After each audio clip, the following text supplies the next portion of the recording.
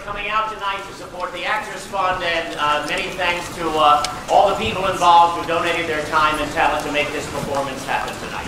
Yes, the Actors Fund helps over 17,000 people yearly in the professional and in the performing arts and the, sorry, and the entertainment business. Thank you.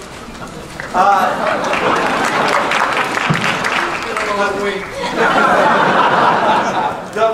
has a huge variety of programs uh, ranging from healthcare to social services to employment assistance to housing, places like the Actors Home. There are volunteers waiting for your generous contributions as you leave the theater. Thank you so much. Good night.